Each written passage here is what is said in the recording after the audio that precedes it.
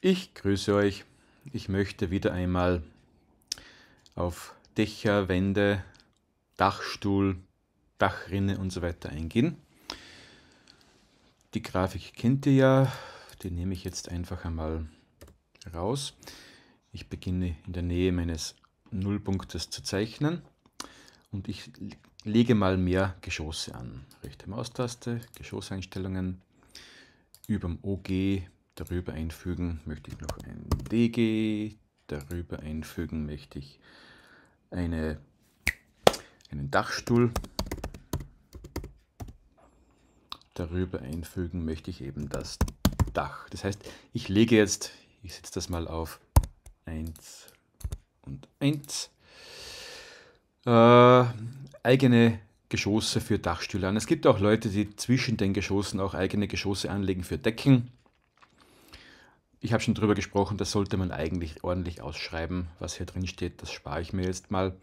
Und ich gehe mal ins EG, sage OK und baue mir mal mit einer mehrschichtigen, voreingestellten in der österreichischen Version Wand eine mehrschichtige Wand, die ich allerdings jetzt nicht nur minus 0,2 vom Erdgeschoss weg, sondern wirklich in den Dachstuhl raufgehen lasse. Und ja, das würde jetzt bedeuten, dass ich, wenn ich das noch auf Geschoss zeigen, nicht nur im Ursprungsgeschoss, sondern in allen relevanten Geschossen, dass ich mehr oder weniger jetzt im Erdgeschoss, Obergeschoss, Dachgeschoss, im Dachstuhlgeschoss diese Wand sehe, im Dach nicht, weil es genau hier aufhört.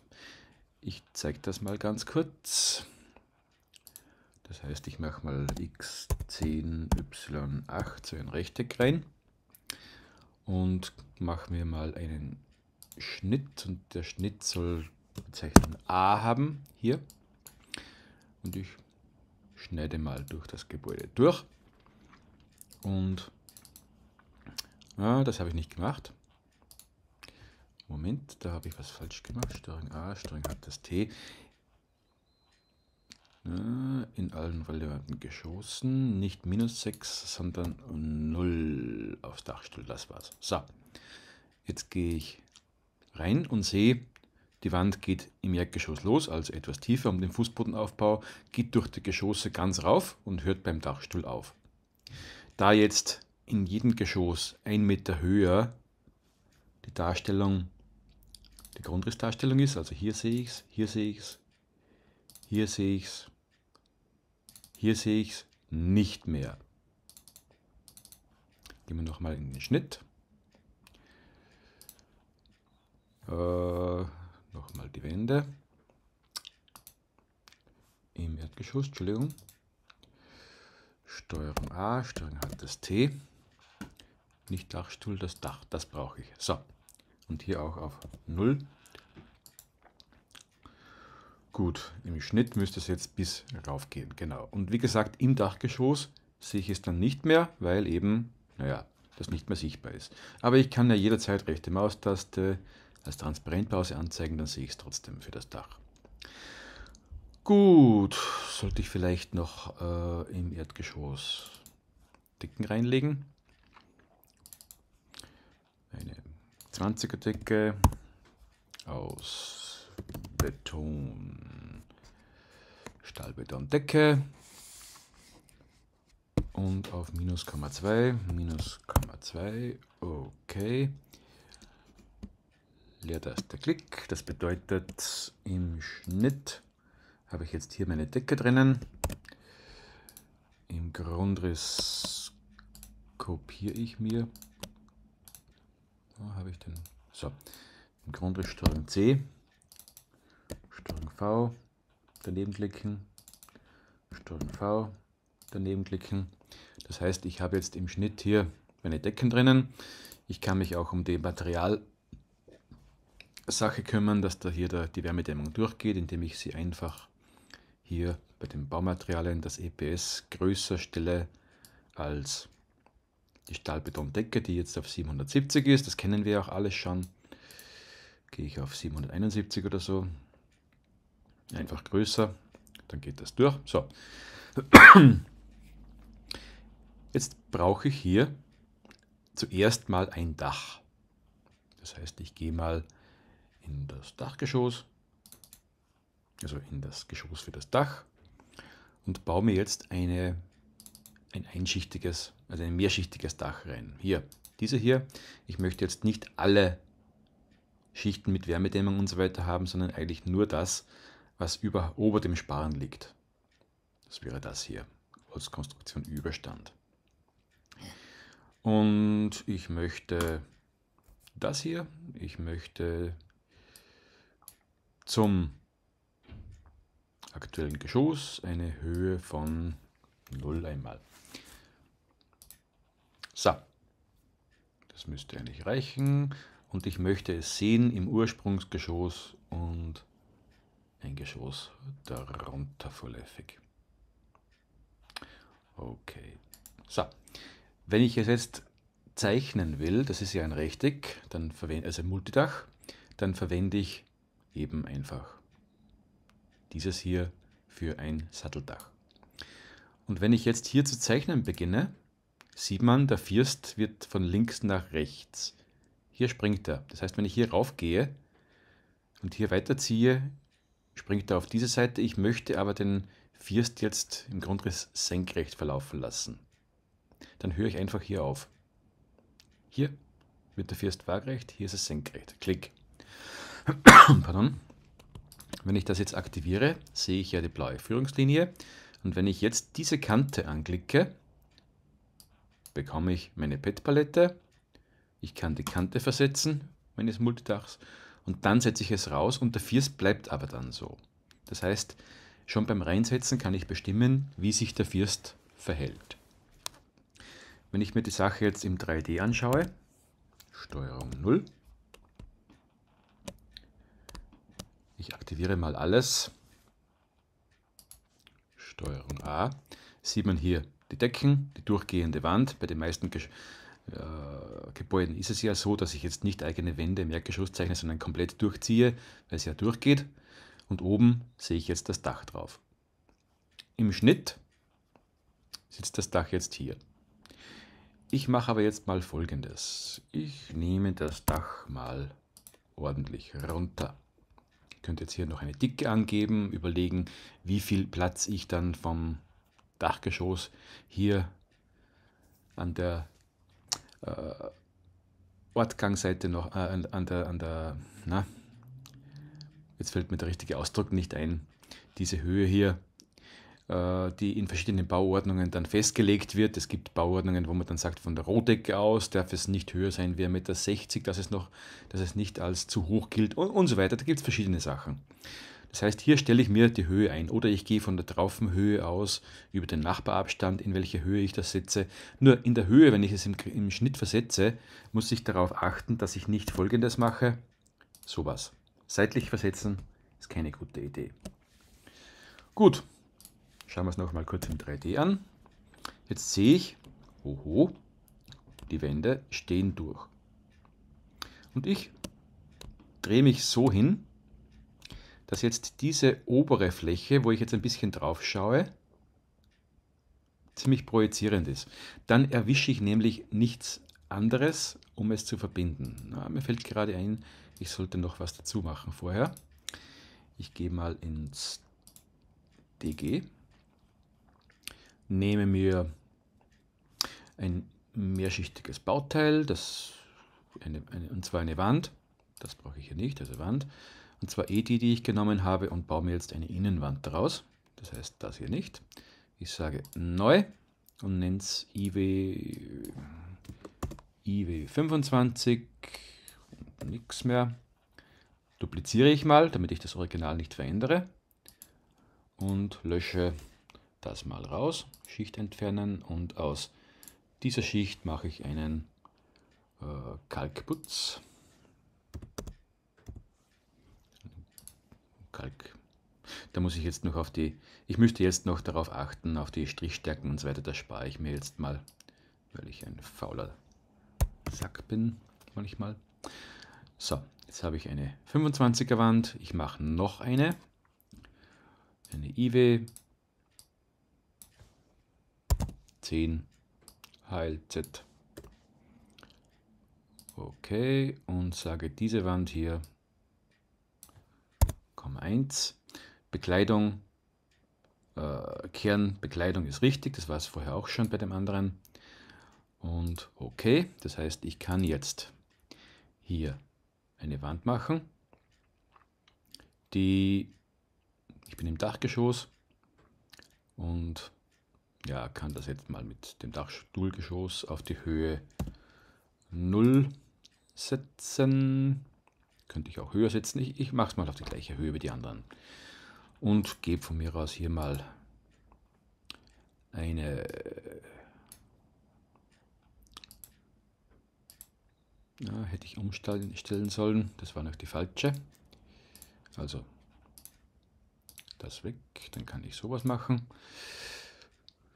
Und sage, das ist jetzt die IW 25. Und dann brauche ich noch eine IW 10 irgendwo, vielleicht hier. Und das wird so nicht funktionieren, aber ich mache es mal trotzdem. Warum hat das nicht funktioniert? Weil es nicht mit den Führungslinien zusammenstellt steht. Das heißt, wenn ich das jetzt ordentlich verschnitten haben will, tausche ich einfach, ich sage innen und tausche es aus. Ja, das war jetzt ein Blödsinn. Zurück außen und ich versetze es eben einfach. Die beiden Kante versetzen, rauf. So, und schon ist das ordentlich verschnitten, hier nicht, weil das muss ich natürlich dann auch noch wieder extra verbinden. So, jetzt habe ich hier meine Struktur im 3D. Die Wände waren etwas zu kurz noch. Ich gehe noch mal kurz rein und ändere diese Höhen noch mal. Steuerung hat das T und sage eben, okay, mit dem Dach verknüpft. So, Steuerung 3. Jetzt passt Wenn ich jetzt hier auf Projizieren setze, dann kann ich sehr leicht also fast projizierend, kann ich sehr leicht diese Dinge alle aktivieren, ohne dass ich irgendwas anderes aktiviere. Das heißt, so kann ich die Wände sehr gut auswählen. Ich nehme mir den Magnet wieder, damit ich das Dach irgendwo anklicken kann. Rechte Maustaste, wo sonst nichts ist, verbinden, Elemente mit Dachschelle trimmen und trimmen. Und schon werden die Wände, ich stelle das mal kurz auf Glas zum zeigen, kann ich ja später wieder Bottle Glas. Na, ah, Glas. Normalglas. Jetzt sieht man, wie die Wände wirklich gut angepasst werden auf die, in dem Fall Oberkante der Dachfläche. Wenn ich diese Wände tief verziehe, in Z-Richtung, das heißt oben eine, einen Punkt anklicken und darunter, sieht man, die Verlinkung ist dynamisch. Wenn ich es höher ziehe, geht es eben ganz rauf und ist so eben schön miteinander verbunden. Ich stelle das Dach wieder zurück auf die Mehrschichtigkeit. Stelle da Holz. Man sieht wieder, irgendwas passt noch nicht. Offensichtlich ist das Styropor und der Ziegel stärker als die Holzschalung. Das heißt, wenn ich hier jetzt wieder eine Wand und das hier aktiviere, damit ich schnell in den Baumaterialien finde, äh, ich brauche das, also EPS ist zum Beispiel 776 und Hochlochziegel, wo ist er? Hochlochziegel ist 730, also 776, es war mehr. Das heißt, wenn ich jetzt das Vollholz, aus dem das da unten besteht, das weiß ich ja, weil das ist jetzt angeklickt, auf mehr als 776, auf 783 nehme, verschwindet das. Man sieht es auch im Schnitt. Zuerst wäre das und das durchgegangen. Nachdem ich das jetzt verstellt habe, ist das Holz mehr wert und das Zeug läuft runter bei rein und ist jetzt ordentlich verschnitten. So, jetzt kommen wir zum Dachstuhl, den ich am besten im Dachstuhlgeschoss mache. Wobei es wird jetzt automatisch dort gemacht, wo eben äh, das Dach wirklich ist. Also jetzt momentan würde der Dachstuhl hier reinkommen und ich muss es dann ändern, dass es dann hier drinnen ist. Aber egal, ich gehe in den Grundriss, ich aktiviere das Dach und könnte jetzt, ich habe noch was vergessen, und könnte jetzt mit äh, Dachextras den Dachstuhlassistent, äh, wo ist er? Den Rufmaker den Dachstuhlassistent starten, aber das mache ich noch nicht. Ich gehe zuerst nochmal in das Untergeschoss und stelle mir hier mal einen Kamin rein. Objekt. Kamin. Diesen hier. Äh, Maße, äh, zuerst einmal Stil. Ich möchte mit Belüftung haben. Durchmesser 1 vielleicht irgendeinen Gaskamin, dann einen 18er für einen Kachelofen vielleicht, wie auch immer. Und ich möchte, dass der in allen, in allen Geschossen sichtbar ist. Und ich möchte eine Höhe von, gebe ich gleich mal 15 Meter rein. Kann ich später noch ändern. Und setze den mal irgendwo rein. Ich nehme hier mal in der Mitte am besten. So. Den finde ich jetzt, wie gesagt, in allen Geschossen, auch im Dachgeschoss. Und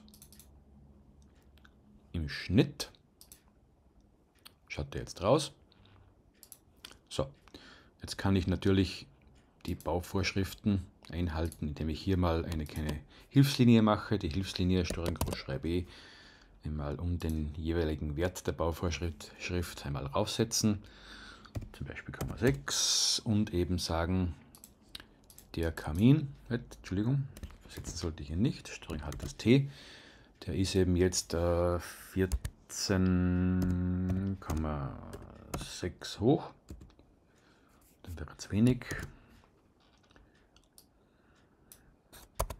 15, ja, das, so. das, das springt um die, um die Steinhöhe. Das heißt, hier kann ich es anpassen.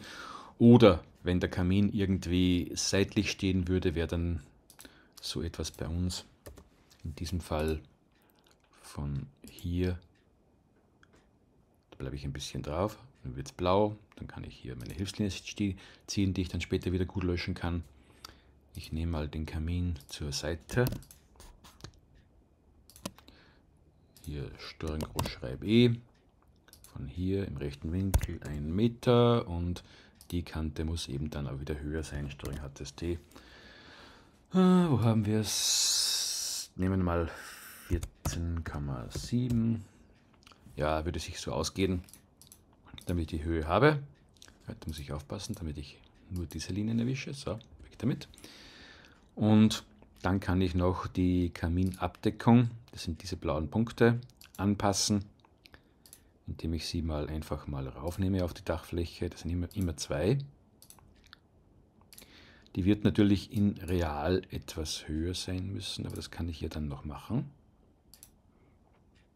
Die anderen blauen Punkte sind eben die Lagen der Putztüren und so weiter. Der Keller fehlt ja hier noch.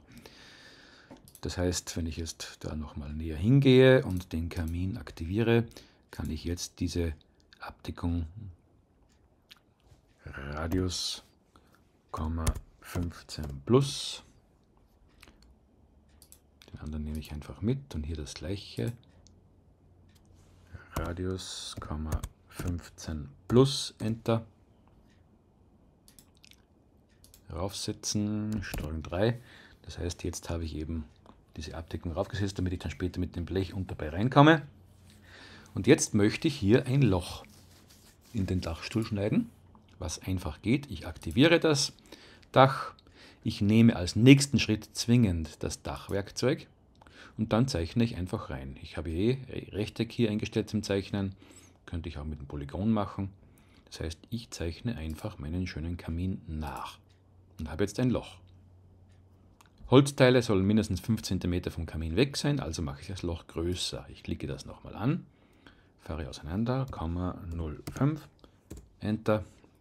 Und hier sieht man, wenn ich mir das kurz im Schnitt anschaue, die Kante geht so rein. Ich möchte aber, dass sie gerade nach unten geht.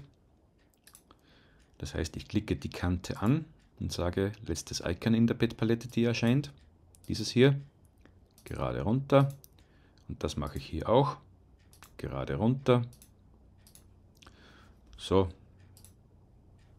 Jetzt habe ich hier ein Loch mit 5 cm Abstand und kann das dann später mit geeigneten Mitteln ausfüllen. Das spare ich mir in diesem Video. Mir geht es ja eher um das Dach.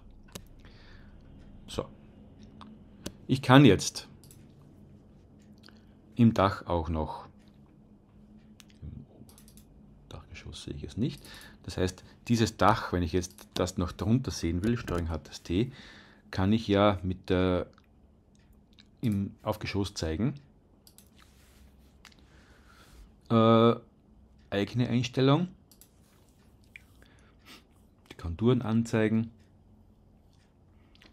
ein Geschoss darüber, ein Geschoss darunter, Schraffuren anzeigen, Ursprungsgeschoss, in allen Geschossen zwei darunter. Okay, das müsste jetzt so stimmen, aber ich mache das eher selten. Das heißt, wenn ich jetzt ins D gehe, gehe okay, sehe ich jetzt, jetzt hier das Dach mit dem Loch.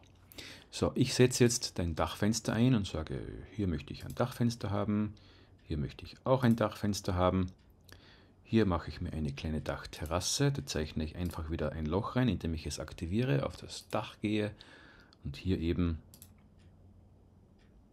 irgendeinen Ausschnitt davon mache. Hier sieht man wieder die Kante nicht gerade runter. Kann ich aber, wie gesagt, auch hier einfach gerade setzen, wenn ich das will. Und diese auch oder auch nicht, je nachdem. Und habe Steuerung 3 Somit mein Dach fertig. Nochmal Steuerung 3. Ich kann jetzt im Dachgeschoss natürlich jetzt, wenn hier eine Außenwand ist, Alt 9, so, Alt-Klick auf eine Außenwand und hier auch nochmal eine Außenwand reinbauen, die sich dann automatisch verlängert. Dann würde ich natürlich jetzt hier beim Dach selber diese Kante noch ein wenig nach vorne nehmen, damit ich hier ein bisschen einen Überstand habe.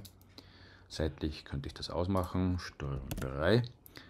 Und natürlich diese beiden Wände mit dem Dach, also Großschreibtaste, Klick, Klick, verbinden, Elemente mit Dachschale trimmen, trimmen. Und habe eben jetzt hier so mein Dach zusammen. Man sollte, bevor man den Dachstuhl macht, eben solche Löcher fix fertig haben könnte auch auf die Idee kommen, nein, das hier, Steuerung hat das T, soll kein normales, sondern soll eine Gaupe sein und so weiter. Aber jedenfalls, Steuerung 3, die Löcher sollten einfach da sein. So, wenn ich jetzt hier im Grundriss das Dach aktiviere und sage Planung, Dach Extras, Hofmaker, von mir aus Dachschulassistent, wenn ich es gleich als Ganzes haben will. Bei uns wird das eher ein bisschen breiter sein müssen und etwas höher aufgrund der Schneelast. Dann hätte ich gerne Lotrecht und die Spanabstände lasse ich jetzt mal so. Kehlbalken, nö, möchte ich heute nicht haben. Fetten zwischen den Sparen nicht, sondern drunter. Firstfette erstellen, Fußfette erstellen. Dazwischen gibt es leider nichts. So, die Firstfette hätte ich gerne 18 auf 32.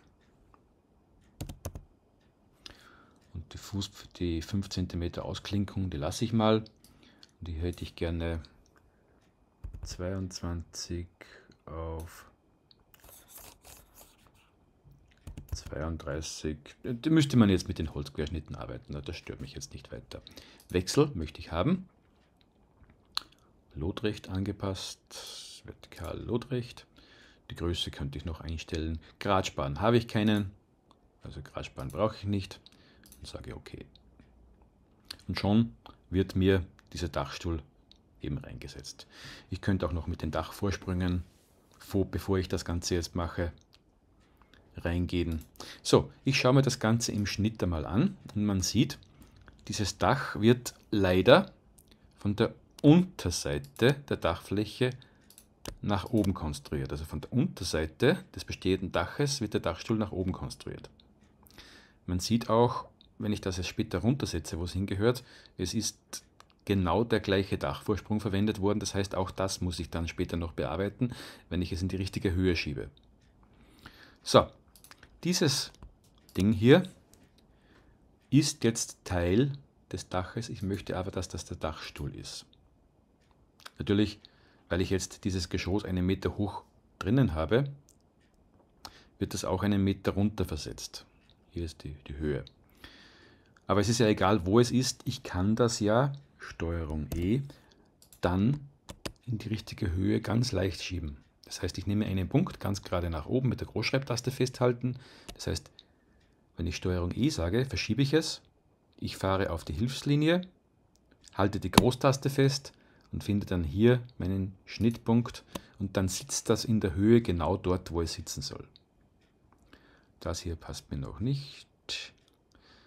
Das müsste ich dann in der Breite noch versetzen oder ich mache einen eigenen Träger. Ich glaube, ich nehme es nochmal weg und mache es nochmal. Ist gescheiter. Also das hier, Steuerung hat das T. Nein, nicht Steuerung hat das T, Entschuldigung. Planung, Dachextras, Roofmaker, Dachstuhlassistent, die Fettern. Leider kann ich hier, wo es dann wirklich reinkommt, nicht festlegen. Das heißt, ich nehme das mal raus. Oben ist es okay, aber hier mache ich es dann später einfach mit einem Träger. So, das andere habe ich eingestellt, sage ich OK. Dann habe ich es da, gehe in den Schnitt, sage, das Ding lege ich eben auf das Geschoss, wo ich es gerne haben will, nämlich zum Beispiel ins Dachstuhlgeschoss, Steuerung E. Und von hier ganz gerade nach oben, Großschreibtaste festhalten, Schnittpunkt suchen, dann sitzt es mal dort, wo es sein soll. Wenn wir uns das Ganze jetzt mal kurz anschauen, Steuerung 3,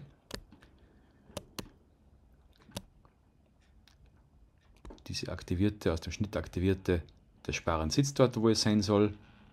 Das auch. Und Steuerung 3, wenn ich mir alles anschaue, schaut es eben so aus. Das Ding ist gruppiert. Das heißt, wenn ich das jetzt in irgendeiner Form bearbeiten will, muss ich die Gruppe aussetzen. So, schauen wir mal, wenn ich jetzt hier, wenn es gruppiert ist, reingehe, dann habe ich den Sparren dran. Es könnte auch was anderes sein. Ich nehme mal die Gruppe weg. Äh, nein, durch nicht. Also ich nehme das wieder, habe die ganze Gruppe dran. Jetzt bearbeiten, gruppieren, Gruppe aussetzen. Ich nehme die Pfette weg und gebe sie aber gleich wieder dazu mit der Großschreibtaste gedrückt. Steuerung hat das T.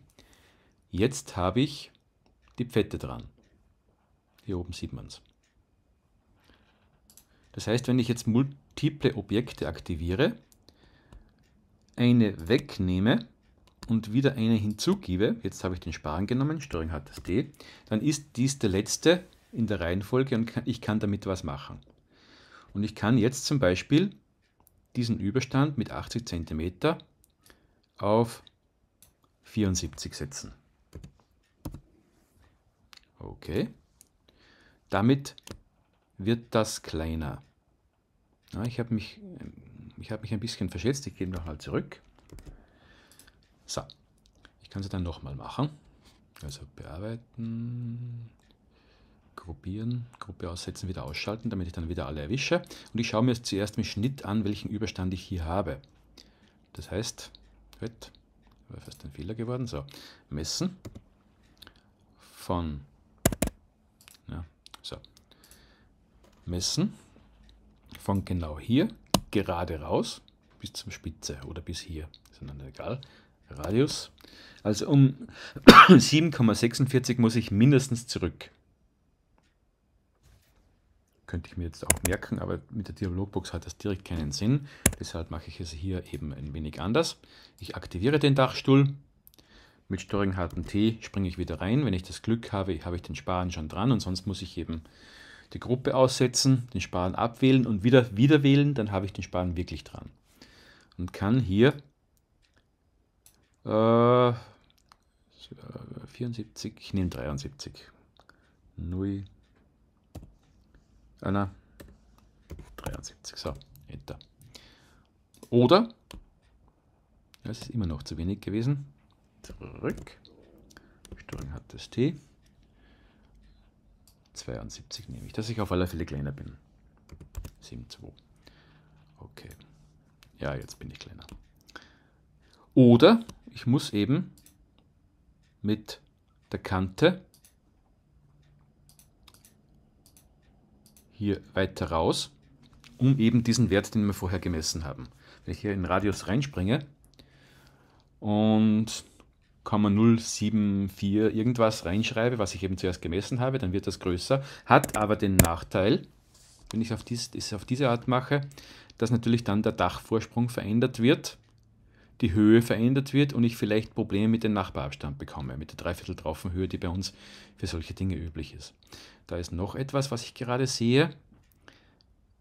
Es wird hier offensichtlich genau zentriert drunter dieser Wechsel reingegeben. Das heißt, ich gebe mal das hier weg, damit ich dann einzeln was anklicken kann. Setze die Gruppe wieder aus. Gruppe aussetzen. Man sollte sich das Tastaturkürzel merken. Und stelle das natürlich dann, halt, da ist noch mehr dran, offensichtlich. Nein, eigentlich nicht. Witzig. Stelle das dann eben etwas anders ein.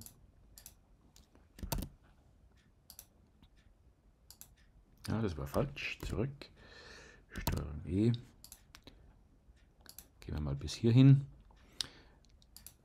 Und ich möchte hier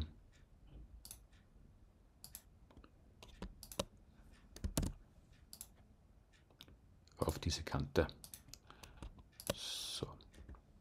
Wie gesagt, das genaue Detail mit der Blechanbindung hier unten rein und so weiter, das ist dann wieder eine eigene Sache. Das lasse ich jetzt mal. Aha, hier habe ich den Kamin genau in die Wand gesetzt, zufällig. Gut, das heißt, ich habe jetzt 3, einen Dachstuhl, wo ich die einzelnen Sparren in der Breite noch etwas versetzen könnte, wenn ich die Gruppe aussetze dass es gleichmäßig aufgeteilt wird. Das heißt, bei so einer großen Öffnung hatte ich jetzt zwei nebeneinander gemacht, ich habe aber eh eine Wand daneben, ist vielleicht gar nicht nötig und so weiter. Aufpassen muss ich auch bei solchen Dingen statisch, wenn jetzt diese Sparen, diese kleinen Sparen, wenn ich mal den Dachstuhl alleine anschaue, äh, so, Steuerung 3, wenn die dann später auf der Pfette aufsitzen, dass die statisch auch wirklich gut verbunden sind. Gut, Steuerung 3. Jetzt geht es um die Windläden, denn ich kann ja hier noch durchschauen. Konterleitung, Leitung ist ja durch die Mehrschichtigkeit nicht wirklich dargestellt. Das heißt, wenn ich hier einen Windladen zeichnen will, am besten geht das eindeutig mit dem Träger. Das heißt, wenn ich jetzt hier beim Segment Holz, Vollholz zum Beispiel nehme und eine Höhe von 20 müsste auch reichen und eine Höhe, eine Breite von 0,022 geholte Bretter. Ein Brett zum Beispiel. Wenn ich das mal so nehme, mal schauen, Träger, Grundriss und Schnitt. Ist egal. Den nehme ich jedenfalls mal und zeichne ihn mal von hier einfach nach hier rauf. Ah, ich habe es zu breit gemacht. Egal. Steuerung hat das T. Ich kann ja 022. So. Nachdem es allerdings von der Mitte aus gezeichnet wird, wenn ich nicht ein Profil verwende, Steuerung E, muss ich es halt noch einmal ein bisschen raussetzen. unten kann ich diesen Winkel hier auch anpassen, indem ich einfach oben klick. Hier ist dieser Winkel und hier kann ich, da ist die Frage, ob ich ihn finde.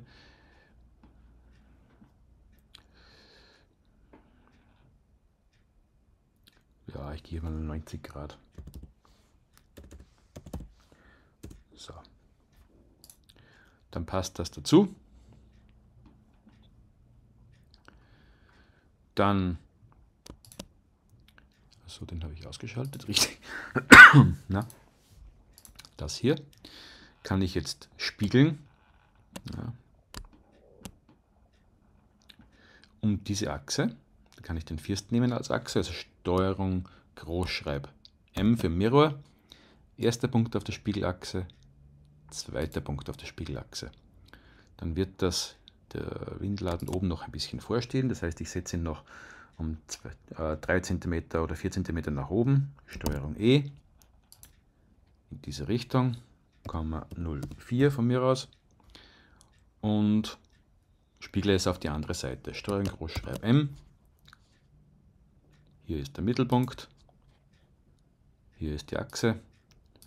Und schon habe ich es auf der anderen Seite auch geschlossen, mein Dach. Man kann da natürlich auch ein Profil verwenden. Das heißt, ich kann hier zwei Bretter mit einer Abstufung außen machen, oben eine Blechkante drüber legen, die dann unten auf der Ebene der Dachschalung in das Dach einbindet. Dann habe ich noch eine bessere Darstellung. So, Alt Klick drauf. Wenn ich jetzt hier von hier nach hier zeichne, habe ich es auch gleich. Es müsste es noch ein wenig in der Breite verschieben, haben wir gesagt. Ja, da sieht man auch diesen, diesen Wechsel, der jetzt hier nicht mehr ganz passt.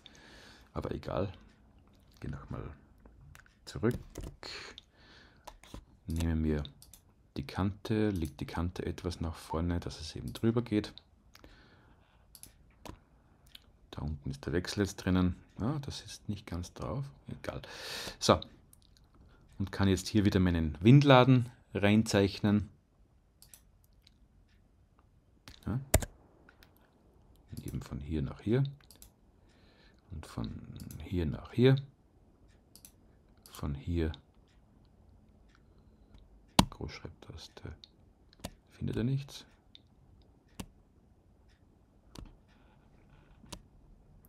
nach hier. Wobei ich kann das ja dann schnappen und in der Höhe einfach runtersetzen, wo ich es brauche. Ja, ganz gerade bin ich nicht geworden.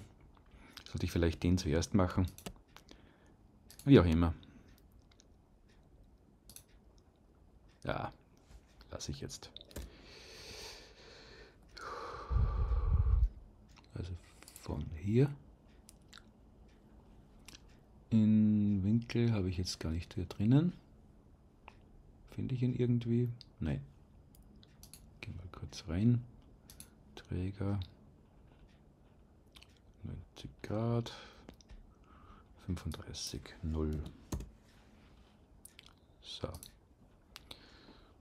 Und unten dasselbe. Auch hier wüsste man jetzt wahrscheinlich sich überlegen, ob ich den Balken so reinsetze oder senkrecht, aber ich kann das hier auf alle Fälle mal reinnehmen. Ja, hätte ich vorher machen sollen. Und kann hier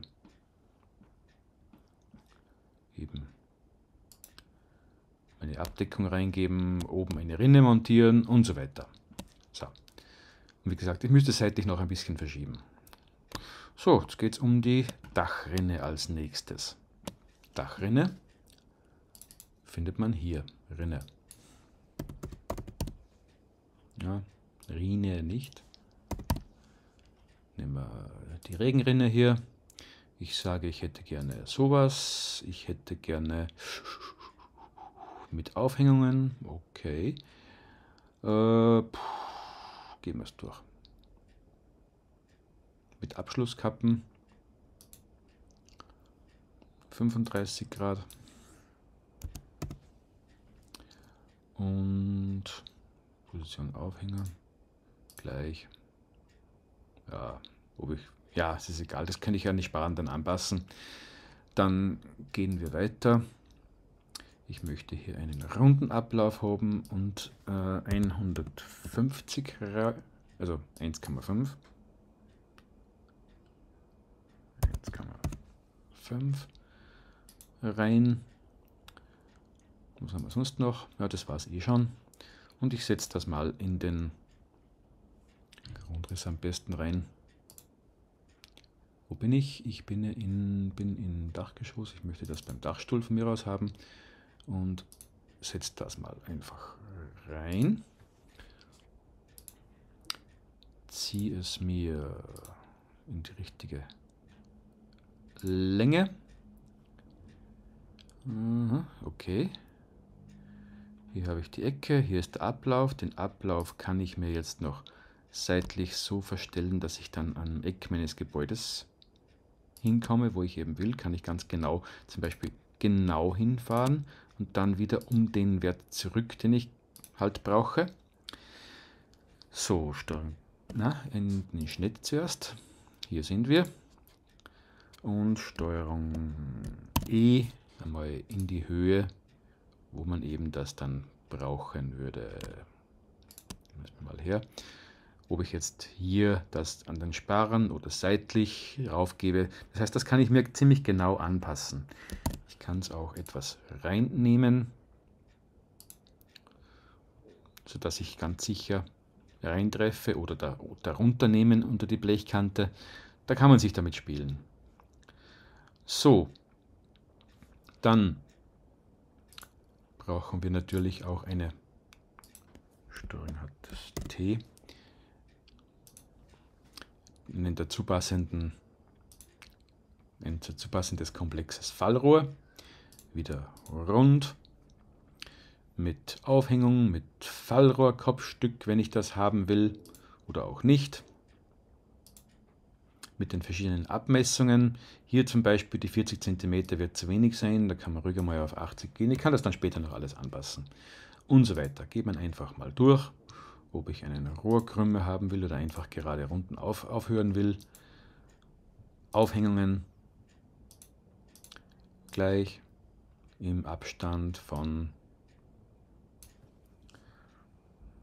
einem Meter von mir aus. So. Und ja, ob ich sowas haben will oder nicht. Fertig, okay. Und einmal ja, Fehler gemacht. Habe ich das geändert. Äh, Alt-Klick, zurück. So. Und dann setze ich eben meinen Fallrohrkomplex mal rein. Steuerung E, das heißt einmal zur Wand. Das hier anpassen auf die Mitte. Steuerung E, genau rein. So, das Ganze jetzt im Schnitt, nehme ich das mal raus, dass ich das dann als Ansicht quasi sehe. Gehört es dann. Ist die Frage, ob man das dann, Steuerung hat das T, projiziert mit Untersicht. In allen Geschossen habe ich es drinnen. Das passt.